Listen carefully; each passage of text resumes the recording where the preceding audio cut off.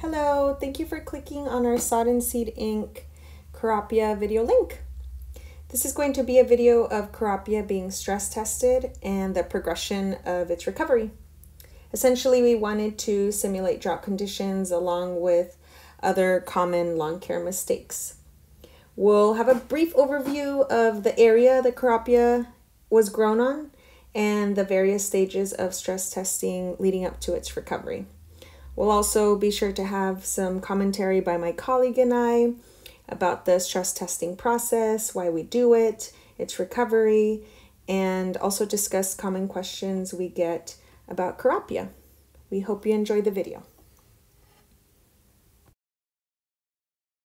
All right, so the lawn you saw in the previous clip was originally a very typical lawn that is dead.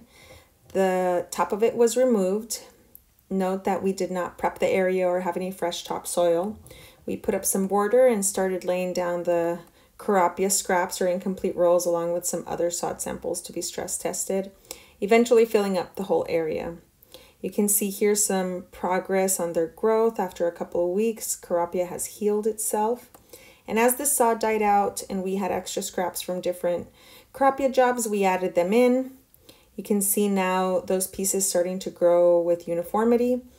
Eventually, we filled the entire lawn with bits and pieces of Kurapia and watched it grow.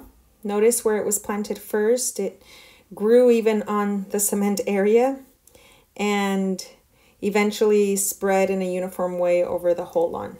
During the months outlined, it was not regularly watered or tended to. You can see we kind of threw stuff on top of it and and then in February decided to put a pallet over it to see how it would respond to this type of stress.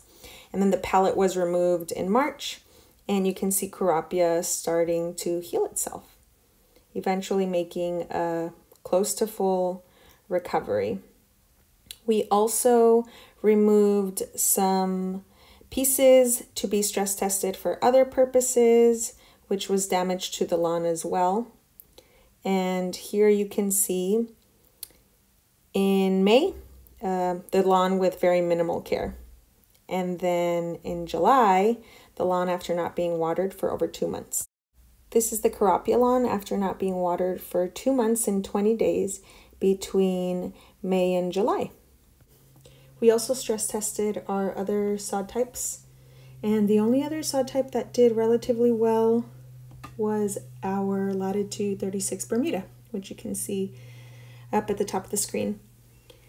And we also put down some Kurapia at the same time that the sod samples were laid out to be stress tested. And this is how well it did compared to the other sod samples you see. Again, this is one last shot of the lawn right before it's going to be watered for the first time after being stress tested for two months and 20 days during summertime and receiving zero water. So we really were able to get it in conditions of extreme drought. Temperatures ranging between 90 to 105. So it's been a very long time since I've washed, watered this, but I'm gonna let this run for about five minutes. Come check on it, move it, do another five minutes at the bottom and should be good. We can see as it gets wet, some of these pieces that look like they're dead are actually still really green. So we shouldn't have any issues with recovery. I'm gonna give this about five minutes of water and check in tomorrow. This is George from Sod and Seed. Uh, so this is after a day of watering. Still really crunchy, but it's starting to pick up.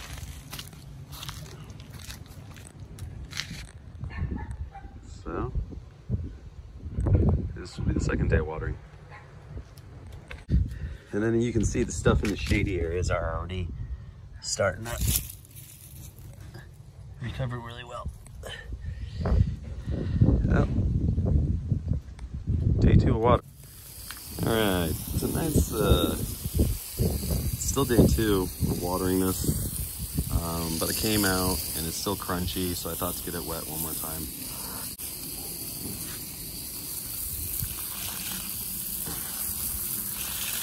Some of these vines are still alive. Others have rooted down here.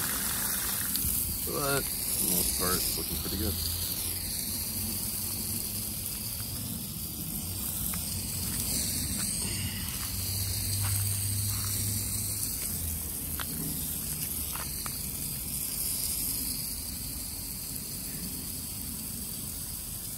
This is two days. The first day I did it was once, and then this time, today I'm doing it twice. Just because it's still dry and crunchy.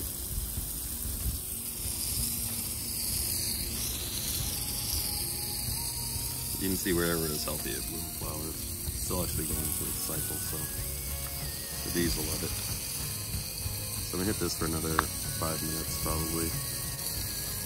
Also, uh, top those out just so I could get better watering and uh, try to leaf blow out all the cones and uh, pine cone needles. Give it its best shot at recovering, you know? Alright, so it's day two of watering and I haven't really fertilized crop too much. Uh, so I'm gonna hit half with lawn food and the other half was starter just because there was massive damage to what I did. So I got my pine cones out and whatnot. Let's see. And it's starting to do its thing.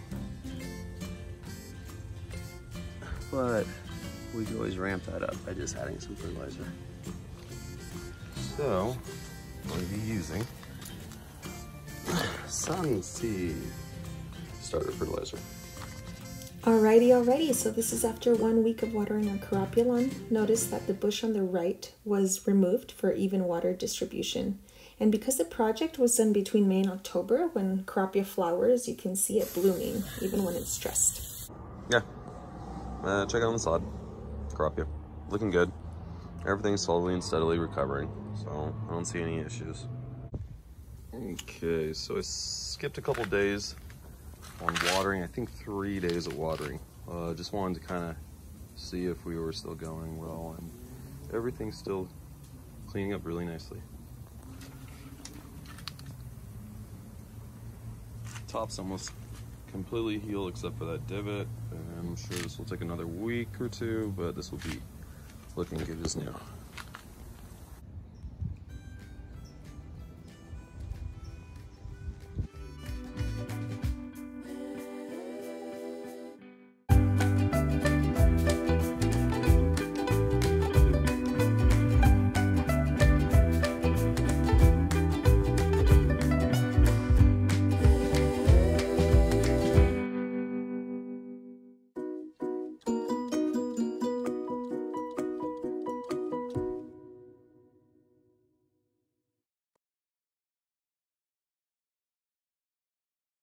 Problem with making friends with animals. Come on, buddy, get off me. Come on, get off me. No, go, go into the plants. No, go into the plants. I know, we can be friends, but you gotta get off me. You gotta go to your new home. You're the new body, you're the new guard. Okay? There you go. Good job, buddy. He was a good friend for a short time. Sometimes that's all you need. That and he really likes to run on the hmm, way. Yeah, why are you running away?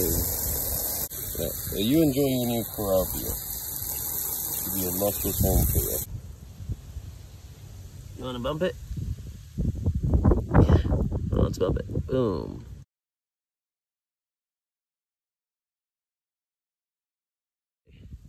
They're covering pretty well. These are starting to green up again. This stuff was all dead with less light, grow slower. Uh, aside from that though, it's come back pretty nicely. This is George from Sod and Seed. Uh, had some knee surgery, so I haven't been out here in a minute. Uh, we weren't watering this, uh, so there was no real repairs going. I had my son water once, and it's fixing itself pretty quickly. Um, this one had a little better help on it. but it's looking about to do the same thing.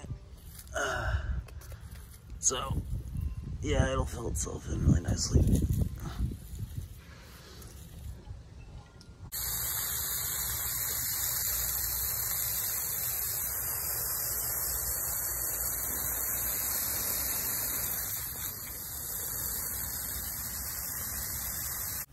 Hello again, everyone. So this is our lawn after being watered for nearly three weeks. It had been stress tested for about two months. We started documenting its recovery. At Sod and Seed Inc., we want to be sure to be as knowledgeable and educated as possible about our products to provide you with accurate information based on direct experience and testing.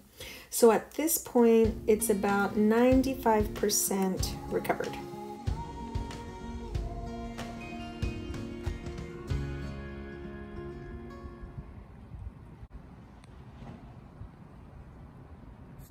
These repairs on the Kurapia, it's as simple as getting some strands, moving around, filling the area with soil so it doesn't dry out.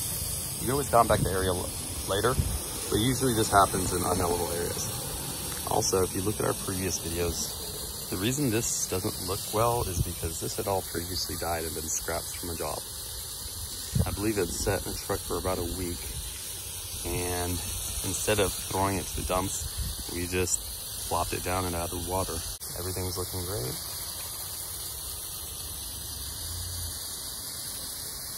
And this is, uh, yeah, less than three weeks. But it'll do a full recovery and then some. Um, if you guys are looking for Kurapia, our company does provide Kurapia delivery. Minimum orders are 200 square feet. Uh, check out all of our product line at lawndelivery.com. Links will be in the description below. Yeah, it's looking good.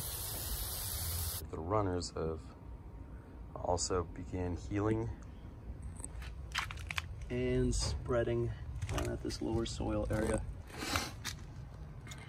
So even in places where, you know, 90% of it died in these lower crevices, it just rerouted down here and restarted.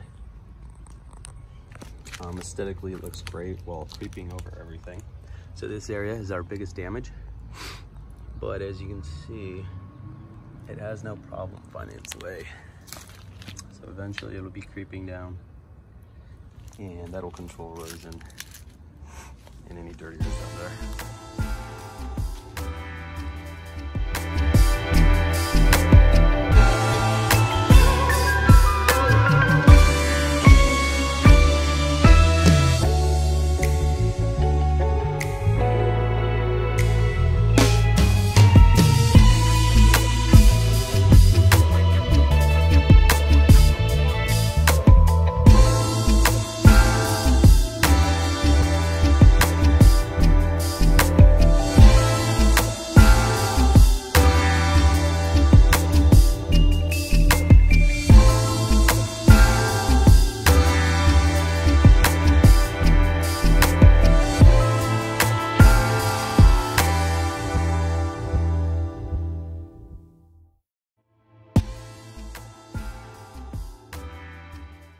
Thank you so much for watching our video and going through this stress test and recovery of Kurapia journey with us. You can purchase Kurapia at our site, lawndelivery.com, or by giving us a call at 925 435 7874. Please share this video to spread the word about Kurapia. At Sod and Seed Inc., we care about our plants surviving and are conscientious about our environment, global climate, and sustainability practices. Every 25 square feet of one of our ground covers produces enough oxygen every day for one adult. And with Kurapia, you can see it never has to be mowed, reducing gas lawnmower pollution. It also requires significantly less watering, supporting water conservation. All without sacrificing a beautiful, safe area to play or relax on. Again, feel free to give us a call to place your order or ask any lingering burning questions at 925 435 7874 or visit our website at lawndelivery.com. We'll talk to you soon.